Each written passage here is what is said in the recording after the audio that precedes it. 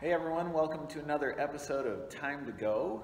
We're in Lent now, so these episodes are going to change a little bit. Rather than talking about the, the weekly text, we're going to be kind of visiting different tables because our theme for Lent this year is Come to the Table. So we're starting out with a pretty familiar one today. Yeah, we're uh, here at the communion table at Vinje. Uh, good reminder uh, that God feeds us here at this table, and for the season of Lent, we're going to be focusing on the theme of hunger and the different kinds of hunger we have in our lives. Uh, this week we're coming up on Ash Wednesday, and so this is a chance for us to focus on hunger in a specific way there. Right, Ash Wednesday is a really important day, I think, on the church calendar. It's kind of one of my favorites in a way, although I wouldn't say that it's ever going to be a really popular day like Christmas or Easter. It doesn't really have that feel good message. It talks about our own mortality and it reminds us that we are mortals uh, and that we will one day become the dust that God created us from.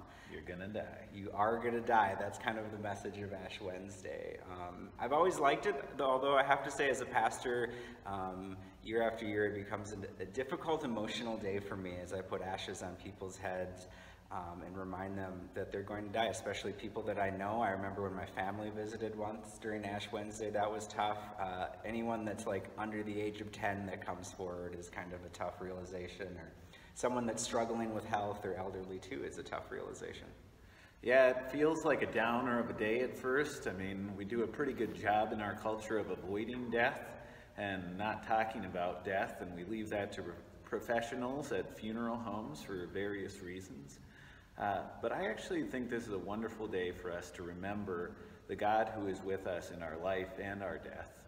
Uh, the God who uh, we hear the story of throughout Lent and as we come into Holy Week, who meets us in our death and brings us to new life.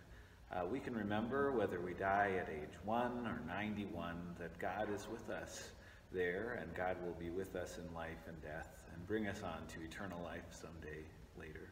Yeah, there's something really freeing in recognizing that you're going to die when you believe in a God that has already died and has journeyed through death uh, to come out the other side. So join us uh, this Ash Wednesday. Uh, get some ash in church and uh, have a good week, good whole, uh, good Lenten season as we move into this season where we focus on the God who is with us all the time. It's time to go.